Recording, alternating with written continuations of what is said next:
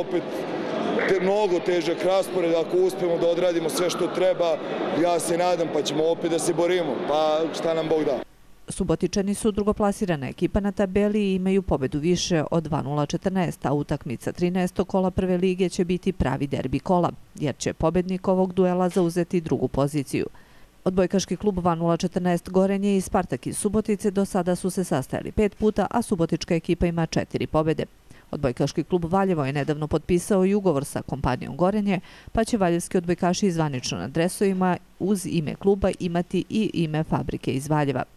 Mi smo do sada u nazivu našeg kluba e, predstavljali, nosimo naziv grada i predstavljamo grad svugdje gdje god da nastupamo, pa ćemo u buduće to isto raditi e, i sa kompanijom Gorenje. E, naša obaveza je gdje god da se pojavimo da se predstavimo u najbolje mogućem svetlu i e, pored, e, pored e, ugovora, konkretno sponzorstva koje imamo od Gorenja, mislim da za uzvrat možemo da damo jednu dobru reklamu kao, kao klub. Ovo sponzorstvo će nam dati veliki postrek da nastavimo u, u uspešnu radu sa mlađim selekcijama kao što smo do sada radili i nadam se da će to da potraje dugo.